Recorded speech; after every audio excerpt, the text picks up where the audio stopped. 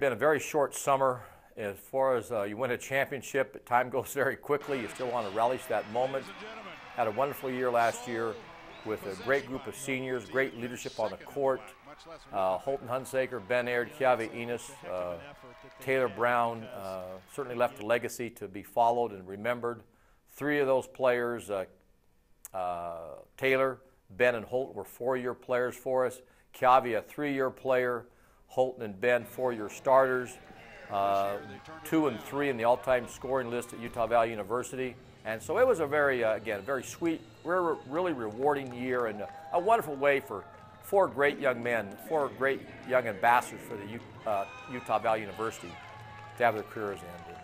With that being said, we move on to 2014-15. We're going to really need good play, particularly out of uh, Zach and Mitch uh, Chad gives us stability. He's an energized type of player. And Brendan Evans has had an exceptional preseason.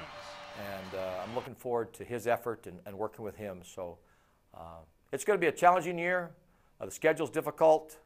We start out uh, with a home game against South Dakota. And from there, we move on to a stretch of seven straight on the road. I feel apologetic to my players for that brutal schedule because it doesn't give them a chance to, to really to build, to build they got to go out and fight for their lives every night out during that seven game stretch and then come home with Utah State Aggies. So uh, the schedule is, again, a, a, very challenging one.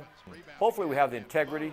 The team has the, uh, the character to play through a challenging part uh, in, in uh, November and December and then get ready for our conference play.